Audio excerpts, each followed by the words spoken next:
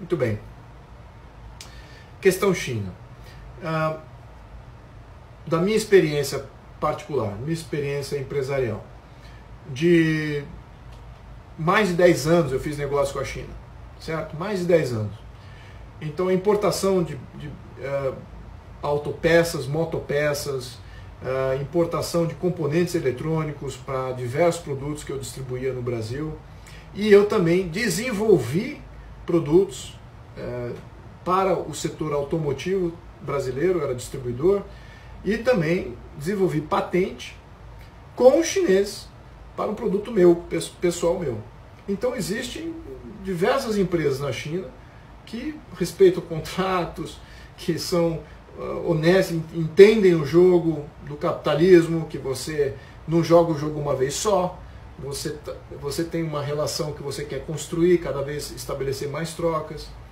Agora, tem empresas que você tem que tomar cuidado. Tem empresas que refletem uh, talvez o não só não são boas empresas, porque quando você visita a China, você tem aí milhares de empresas, sobretudo nos trade shows que existem por lá, você tem aí milhares de empresas e algumas são totalmente informais e outras são mais bem organizadas, mais formalizadas.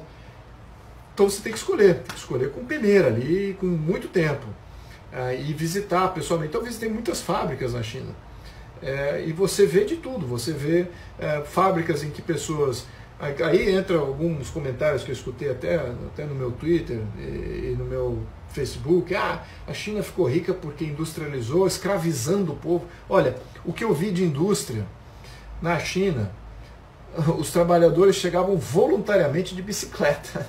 Tá? Eles chegavam voluntariamente de bicicleta, milhares de trabalhadores vinham voluntariamente e, e, e, prestavam lá o seu tempo de serviço e iam embora. Então o direito de ir e vir era total ali, eles não, não vi escravidão, ao menos das que eu visitei. Então não sei que escravidão aí que alguns falaram que a China escravizou o povo, então o que eu vi, isso faz há 10 anos atrás, tá? foi em 2008, 2009. Então isso aí, já em 2009 eu não, não vi, e visitei bastante fábrica em diferentes grandes cidades. Então, é, agora, o que eu acho que é importante a gente entender aqui é passar o pente fino sim. Porque algumas empresas, não só não são boas empresas se tratar, são empresas extremamente informais e tal, mas tem outras que refletem interesse do Estado chinês.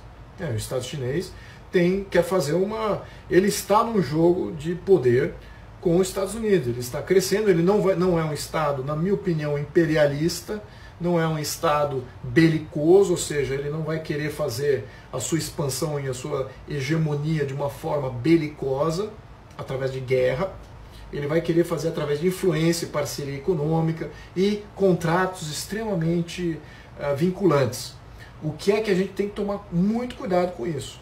É exatamente isso que onde a gente precisa realmente olhar o pente fino. Então, não dá para se estabelecer uma, uma política uh, contra a China. É, ah, vamos ser contra a China.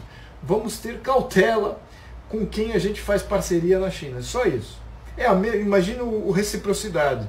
Imagina se um chinês é, fizesse negócio com a Odebrecht. Ou imagina se um chinês fizesse negócio com, com a JBS.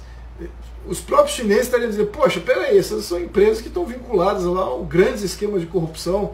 Vamos com cautela, porque tem milhões de empresas no Brasil que são idôneas ao menos é, é, é, que nós sabemos. Né? Eu conheço várias no Brasil, pequenas empresas, pequenas e médias empresas. Então, temos que passar esse pente fino aí nessa política externa uh, e, e, evitar talvez esses exageros dos dois lados, tá? Uh, porque a realidade é, é, mais, vamos voltar ao termo aqui, a real política precisa prevalecer, o pragmatismo precisa prevalecer nas relações exteriores, na minha opinião. Tá?